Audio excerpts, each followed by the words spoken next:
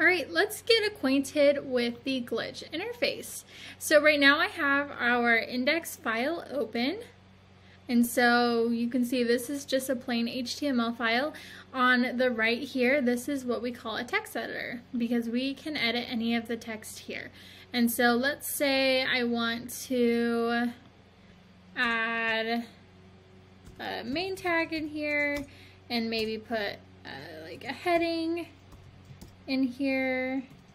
Hi, I'm a heading. Okay, so this is where you get to make edits to your files and add things. Um, I'm to close out of that. Um, and just create your code. This is where you're going to build your websites. On the left hand side here we have all of our files. So like I said I'm on the index file. We also have another HTML file positioning.html which if I remember correctly you'll be doing in week 6 my I think it's week six. Um, and then a CSS file, which is where your styling comes from. Um, but you will learn more about CSS next week in week two. Uh, we have a resources.html file. I actually think some of these resources are out of date though. Um, but if you need resources, you know, they should be in the course or you can reach out to me. Um, and then, so anyway, we won't go through all these files because they're not important right now. However, just know that this is where all of your files sit. Um, if you needed to click, uh, create a new file, you could click new file and add a new file here. So you'll actually do this for the About Me project and you'll see that uh, when we get to that. And you can click add this file. You can also upload a file. Um, you can add license and code of conduct files that isn't really relevant to this class, but those are some things you can do. Um, one thing to note up here, you have some project options. So you can see this has kind of a funny name, Island Tinted Radium. This is just a randomly generated name that Glitch gives your project. Every project on Glitch has to have a unique name because it has a unique URL so that we can visit your project. Um, so if you want to change it, you can change it to whatever you want. You could change it to your name, WDD130, um, whatever you want, or you can just leave it like this. It doesn't matter. You can also give it a description. So if you end up creating lots of projects on Glitch, the descriptions are useful so that you know what project this is. Um, for example, later on in the semester, you're going to, we're going to have a new template. So this is for our first project and then later in the semester you're going to be creating your second project so it would be nice if you had a description so you knew which project is which especially if you just leave the generic name here. Um, you can always create a new project, you can remix this project if you want to edit with this one, and you can switch projects if you would like to work on a different project. Um, you can change your theme, so they have a dark theme. On when creating videos, it's just much better with a light theme, so I'm going to keep this. However, when I actually am editing code, I prefer a dark theme. Um, you can get it to refresh the app when you make changes, and I'll show you what that means in a second. And you can have it wrap your text. I recommend having it wrap your text because say I have, let me show you what that means. Say you have a line of code that's really long, see how it just wrapped it to the next line? Whereas if I didn't have the text, text wrap, I would have to side scroll to see everything. So I'm going to turn that on and then you can also click this to see all the keyboard shortcuts if you like keyboard shortcuts.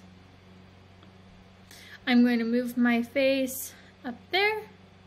I'm sorry if this is lagging a little bit. Um, and then you can archive the project if you if you want, but um, you shouldn't need to do that for this class. Um, and then we have the show. So you can show your project next to you in the code. So see that code that I wrote that said, hi, I'm a heading. Uh, now we can see that code that I wrote. And I copied and pasted that line of code several times. So now I have site plan in this list several times. um, so you can see what you're working on as you work on it. And I'll show you um, Let's see, we'll add a, a line of code here so you can see, whoa, that's so cool. Okay, so you can see that it updates immediately.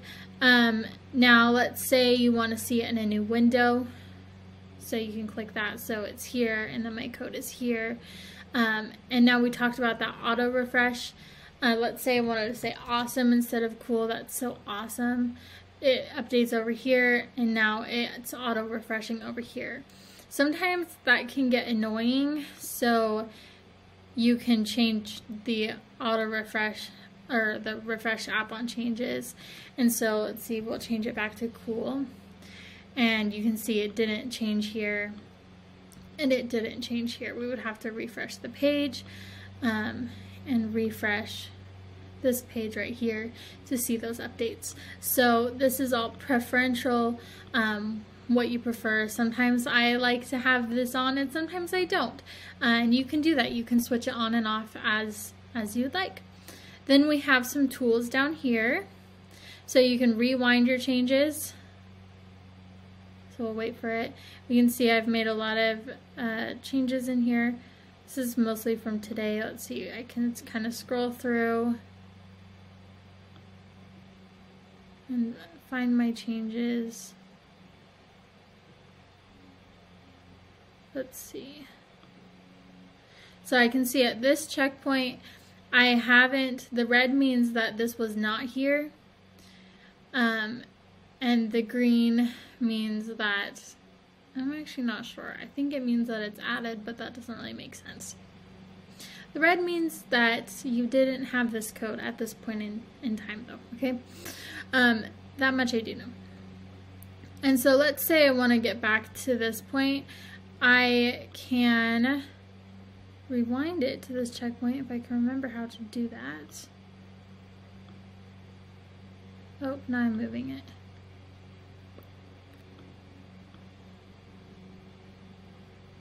Man, I don't know if I remember. Oh, here. Ha!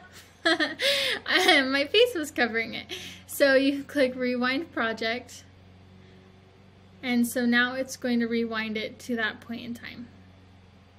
So now I no longer have that text and I no longer have that site plan link in there several times. Uh, so that's a helpful tool. What are some other tool? Logs, um, you shouldn't need logs for this project.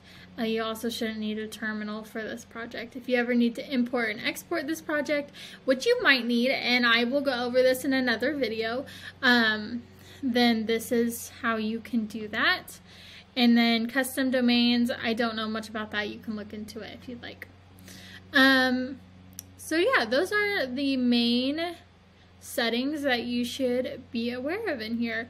One other thing that I'll show you just because uh, we'll be using it later. But say, let's, well, we're going to do this in the about me, but I'll just show you anyway.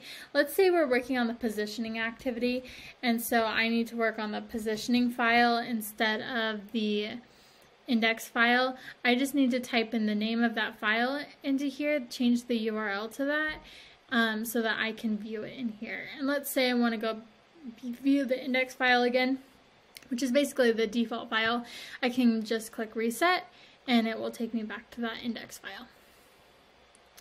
So, um, let's see, I'm trying to remember if there's anything else that you would need to know. Oh, let me just show you. This is kind of a keyboard shortcut, but it's really great for development. Let's say you created something, so I'll just create a heading here. And this is my hello heading. Let's say I typed something wrong. You guys aren't going to be able to see this because this is on my keyboard, so I'm going to tell you what I'm typing. I have a Mac, and so I have a command button, so I click Command Z, and it undoes. If you have a Windows computer, it should be Control. So Control Z will be undo, and on a Mac, Command Z. Now, let's say that was a mistake and I actually want to redo. On my Mac, I click Command Shift Z to redo. And on a Windows, that would be Control Shift Z. So Command Z, Command Shift Z. So um, that will also be really helpful while you guys are writing code for the first time.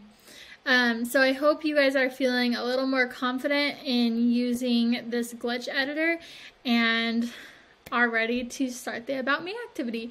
So there's a video for that, or you can do it on the on your own if that's what you'd prefer.